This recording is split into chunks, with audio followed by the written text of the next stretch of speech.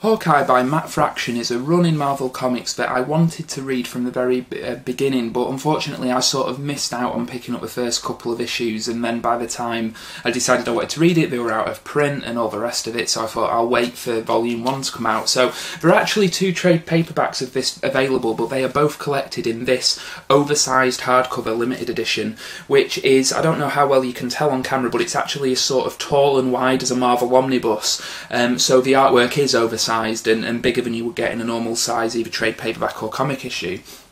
So this is um, written by Matt Fraction, and the majority of the artwork is uh, done by Dave Aja, who I believe worked with Fraction on uh, Immortal Iron Fist a while back.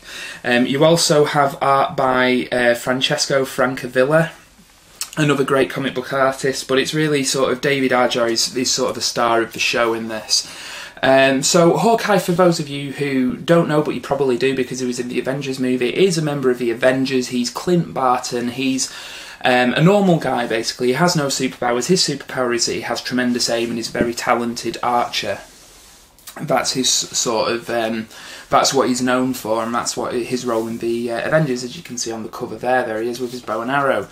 Um, this book basically follows what happens to Clint when he's not with the Avengers. You know, when he's sort of days off. Um, this is what he gets up to now. This can include um, anything from uh, sort of sneaking into a, a new um, hotel that's opening and, and seeing you know the the circus that are performing there, or help saving his neighbour's father from a hurricane.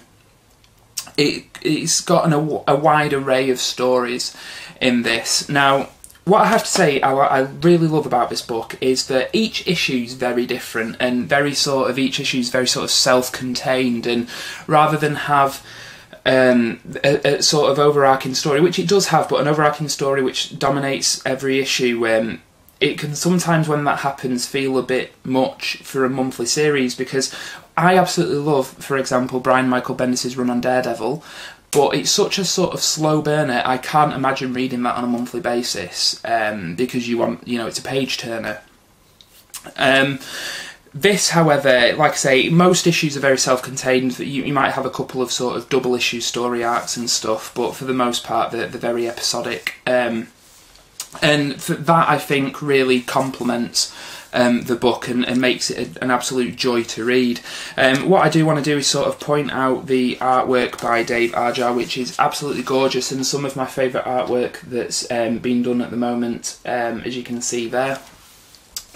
And um, I do also really love Matt Fraction's writing. His writing, um, I've been reading Sex Criminals, as, as some of you may already know. Um, his writing is just as, as brilliant in this. The, I think the dialogue is probably his strongest um, aspect because he does sort of fall into the trap of, of well established stereotypes or tropes at times, like the damsel in distress or the uh, the Miss Male counterpart. Um, but other than that, the, you know, the, the stories are very sort of fresh and pacey and fun. Um, the dialogue's very funny and very naturalistic. And I must admit, I have laughed out loud quite hard reading these issues. Um, absolutely adored them. So Hawkeye is is absolutely a brilliant book, um, as well as sort of the normal Hawkeye book that's collected in this. There is actually an issue of Young Avengers which features um, Kate Bishop, who is the new Hawkeye.